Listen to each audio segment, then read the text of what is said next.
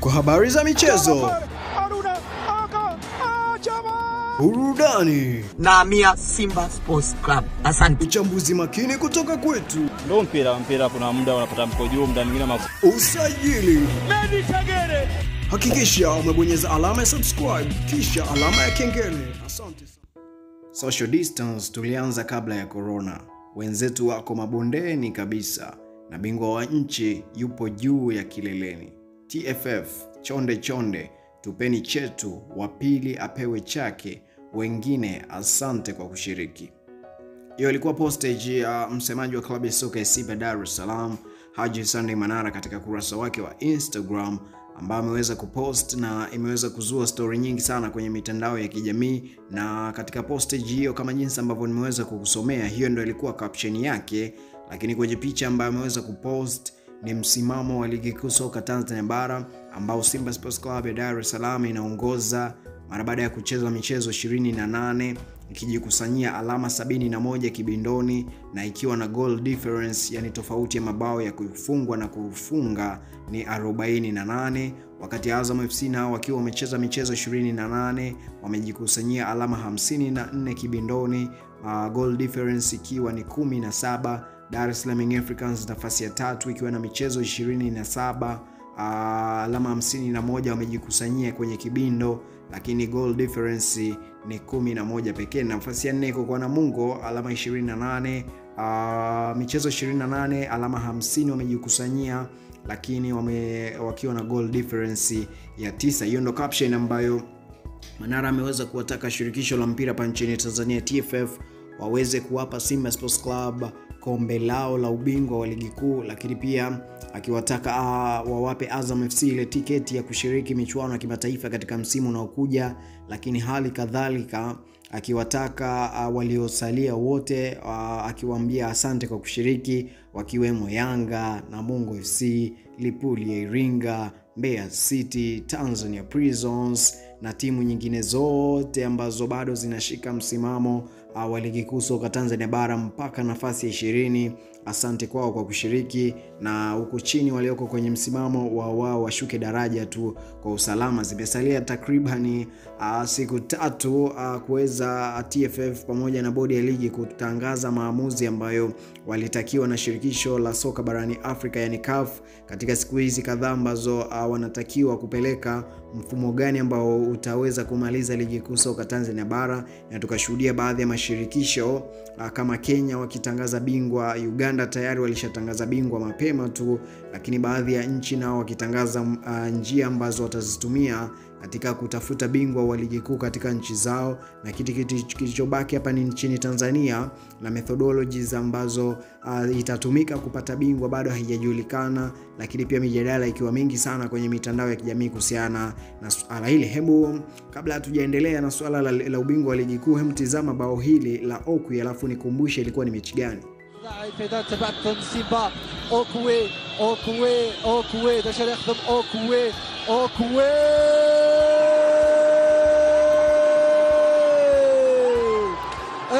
de اوكوي بينه اوكوي اوكوي اوكوي النادور دوري قران ادستازيني مي ذا ذكر غلن تبعت اوغادا ولي كاني ولي ذاكيني إميوران تبعت لوطو ثلاثة ثلاثة كميوران لأن تراجل ذايني إلى قال تفغن يخدم يخدم يعني كاروجان بن حموديني اللي فغد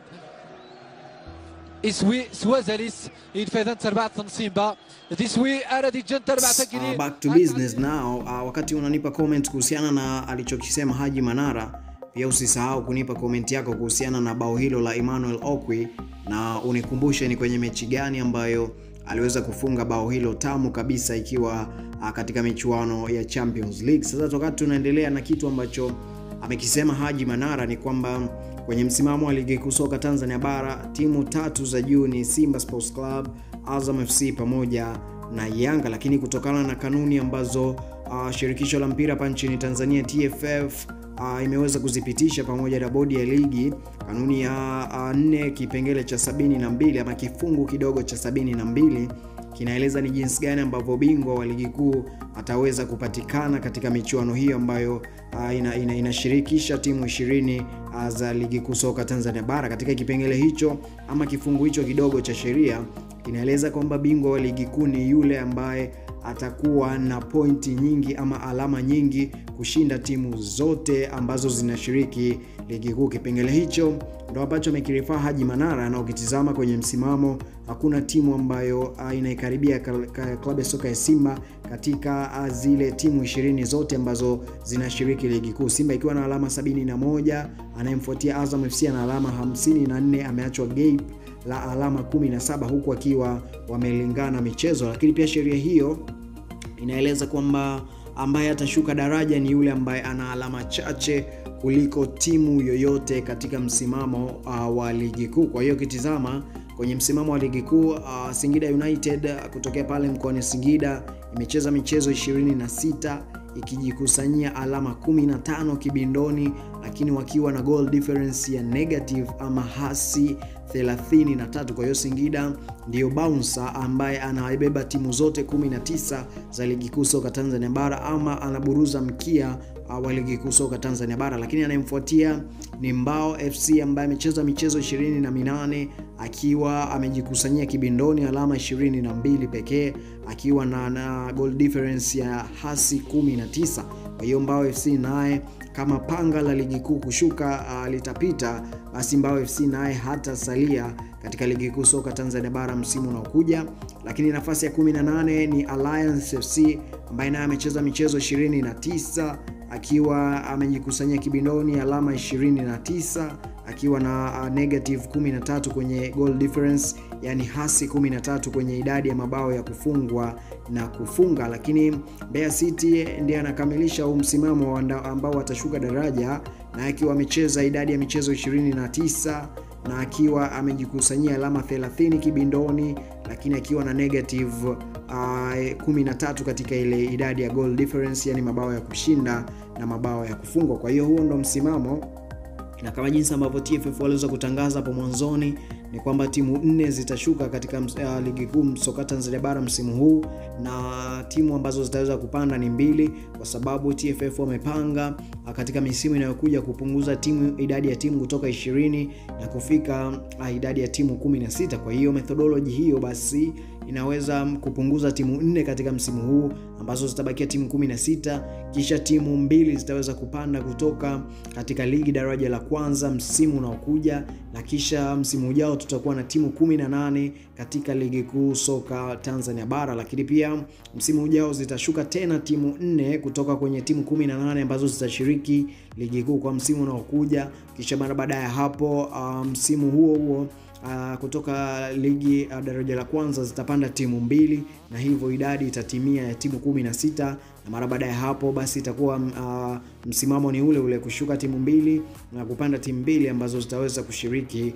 ligi kuu soka Tanzania bara. Kwa hiyo so far hii ndo taarifa ambayo nimeona nikusogezee muda na wakati kama huu kuhusiana na msimamo wa ligi kuu, lakini alichokiandika afisa habari wa klabu ya soka ya Simba Haji Sunday Manara akiweza kutupa dongo kunako klabu ya soka ya Dar es Salaam Africans ambao wanaonekana maamuzi yoyote ambayo yatachukuliwa na bodi ya ligi pamoja na TFF hayatakuwa na manufaa yoyote kwao, kwani uh, endapo TFF wakifuta msimamo wa ligi na timu zote uh, zikahesabiwa kwamba hazijacheza michezo yote, basi bingwa atachukuliwa wa msimu uliopita, kitu ambacho kitampa favorite ama kitampa nafasi nzuri Simba Sports Club ya kushiriki katika michuano ya kimataifa msimu unaokuja. Na Yanga atakosa nafasi kwa sababu msi, uh, mshindi wa Azam Sports Federation Cup yani Azam FC alishinda kombe hilo msimu uliopita na Simba alikuwa bingwa wa ligi kuu. Kwa hiyo wakichukua watu ambao ama timu ambazo zitashiriki michuano ya kimataifa kwa msimu unaokuja, basi itakuwa ni Simba Sports Club pamoja na Azam FC ambaye ni bingwa msimu uliopita na bingwa wa Azam Sports Federation Cup. Kwa hiyo Yanga hatakuwa na fungu lake katika michuano ya kimataifa msimu unaokuja, lakini the same story